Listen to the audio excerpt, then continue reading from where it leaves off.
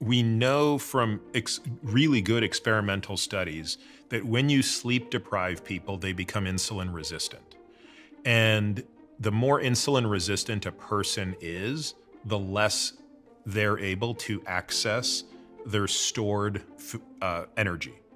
So higher insulin resistance means greater difficulty accessing stored energy.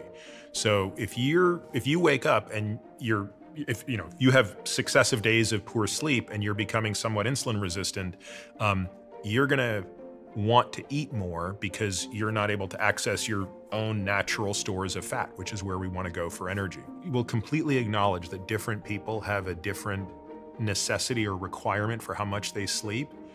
I still think that many people underestimate how much they need. Um, so I think sleep uh, restriction and unhealthy sleep is a, is a very underappreciated cause of metabolic health and weight gain. So one of the surest ways to um, reduce your capacity to store fat is to add more muscle.